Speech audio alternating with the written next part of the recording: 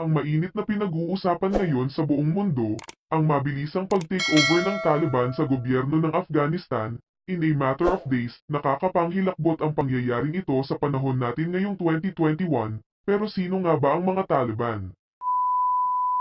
Taliban ay ang militanteng grupo sa Afghanistan na may sariling ideolohiya at may sariling pamahalaan parallel to the Afghanistan government. Binuo ito noong 1994 ng founder nito na si Mohammed Omar at ng co-founder nito na si Abdul Ghani Barador. Ang Taliban ay ipinakikilala ang kanilang grupo bilang Islamic Emirate of Afghanistan o IEA, isa itong Deobandi Islamist Movement and Military Organization noong taong 2007 umabot na sa 200,000 ang miyembro nito sa pamumuno ni Molowi Hibetullah Akhundzadeh na nag-leader mula noong 2016, siya ang pumalit sa leader na si Akhtar Mansour na namuno naman mula 2015 hanggang 2016, namatay si Akhtar Mansour sa airstrike ng tropang Amerikano habang tumitawid mula Pakistan patungong Iran, at dito na nga naupo si Molowi Hibetullah Akhundzadeh. Dalawang taon matapos ang pagkabuo ng grupo, mula 1996 hanggang 2001,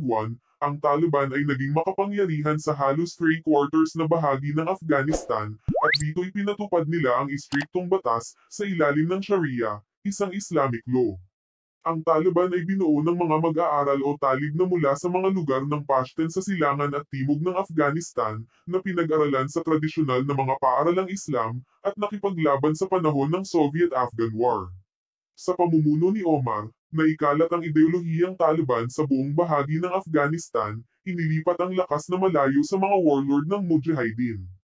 Ang totalitaryo Islamic Emirate ng Afghanistan ay itinatag noong 1996 at ang kabisera ng Afghanistan ay inilipat sa Kandahar. Hawak nito ang kontrol sa malaking bahagi ng bansa hanggang sa matalo ito ng salakayin ng mga tropang Amerikano na tumutulong sa Afghanistan noong December 2001 dahil na rin sa naganap na 9-11's attack dahil sangkot ni umano ang mga Taliban sa pagsalakay at pambobomba noong September 11 sa US.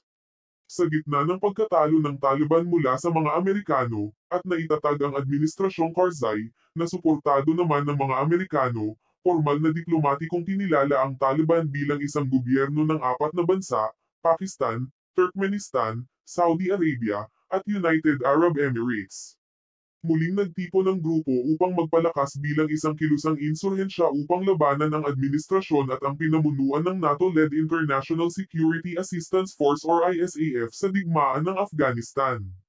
Naging mahigpit ang mga ito sa pagpapatupad sa Sharia, na umabot sa pagiging brutal nito sa mga Afghan civilian.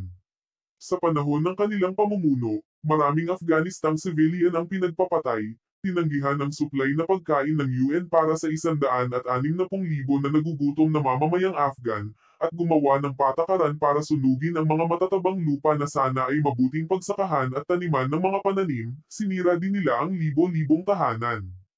Habang nasa kanila ang kontrol ng Afghanistan, ipinagbawal nila ang mga media activity, at kasama dyan ang photo frame, taking photo, at mga pelikula at drama na naglalarawan ng nabubuhay na bagay, ipinagbawal din ang mga musikang gumagamit ng instrumento, liban sa duff, o isang uri ng frame drum.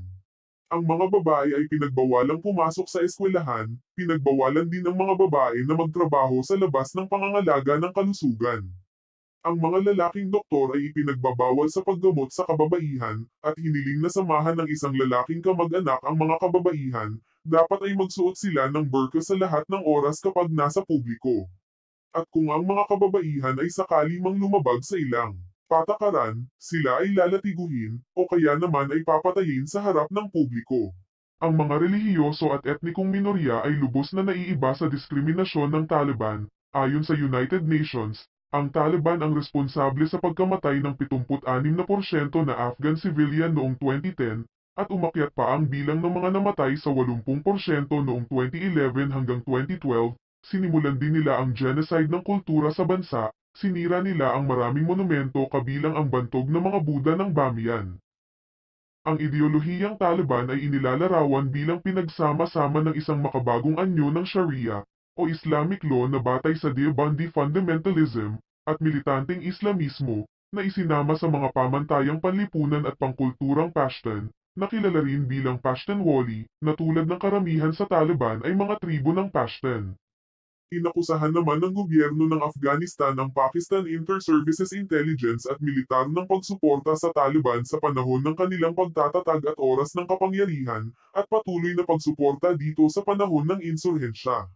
Sinabi naman ng Pakistan na ibinagsak nito ang pagsuporta sa Taliban matapos masawi ang 2,500 na mga Arabo noong 2001 9-11's attack sa pamumuno ng Al-Qaeda na si Osama Bin Laden, na nakipaglaban naman para sa Taliban.